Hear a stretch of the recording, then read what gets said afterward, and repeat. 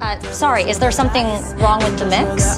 Uh, yeah, a bit. You're not on it.